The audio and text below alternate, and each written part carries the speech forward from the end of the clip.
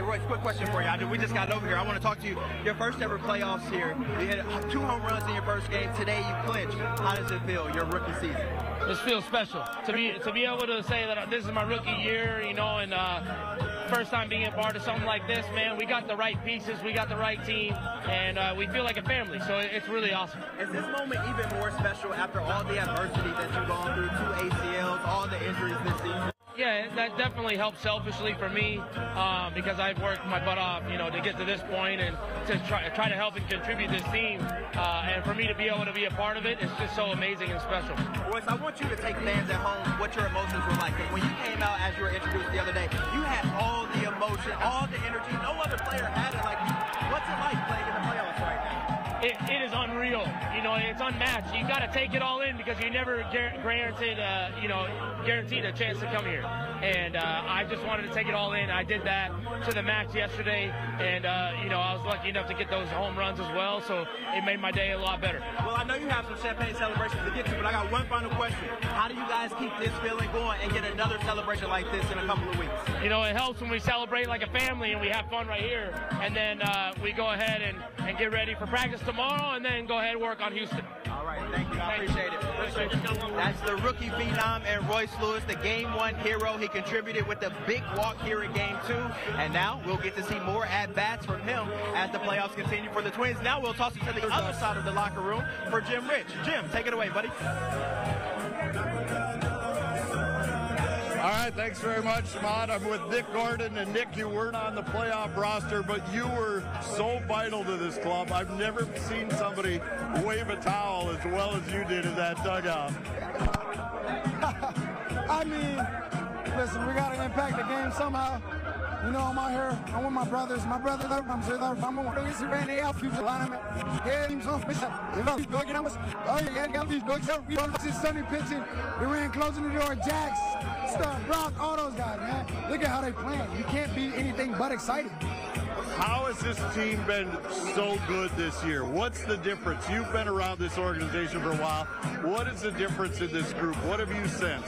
Ooh, heart, believe. Everybody waving them towels saying believe, but I think it really starts in here. We believe. We really believe. We really believe, and we want everybody to believe because we coming for sure. You look at the way this club has played defensively in this series. Very aggressive. You guys are going for plays that we didn't see during the regular season. Correa's played a home, the pickoff today at second. Where did that come from? What I say, if you're scared, get a dog. And we ain't scared. So we take chances and we execute and we practice this type of stuff, and that's what we're here for. What does it feel like to be the group to lift the monkey off the stake that's been listening to this for years that we can't win a playoff game. And you guys are going to go down in history as the group to uh, lift that spell off the rest of us. Hopefully history ain't over yet.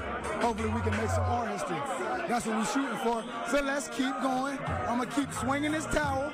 I'm going to keep trying to hype everybody up, and we're going to keep going. Let's roll, and let's do it. I don't got a voice. I'm going to let my voice rest for the next day and a half, and after that, I'm back on. Let's go. All right. Thank you so much. Appreciate it. Congratulations, man.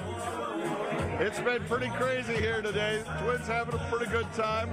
And uh, where would you like me to go next, or do you want me to just grab more players? This, uh, Yes, sir this is uh, Mr. Pagan here. Uh, you're live on television, so uh, watch what you say, but uh, happy to be here.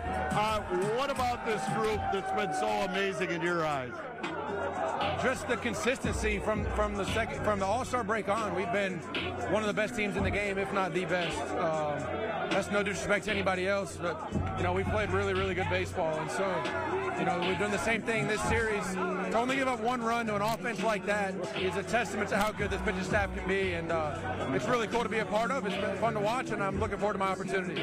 You look at the way this club has gelled the second half. What turned it for you guys? Was there something that all of a sudden everything started to click for you? I don't know. I, I think it's just baseball. Things kind of evened out. You know, we said in spring training we knew we were a good team. You know, that that wasn't smoke and mirrors. We, we truly believed it. You know, we, we knew we had a chance to be special. Um, things didn't go our way in the first half. You know, consistently. There was flashes of it, but we wasn't there as a unit consistently. And so from the second half on, you know, we knew we had to come out with a sense of urgency, and uh, man, we, we've been we've been rolling ever since. All right, where'd you get the goggles? I'm not sure they were in, in my locker. yeah, yeah, That's equipment staff takes care of everything, right? yeah. Hot Rod and the guys are the best, best I've been around. So you know, we're lucky to have them. All right, congratulations. Don't get rid of those because you may use them a lot more. Thank you. Let's go.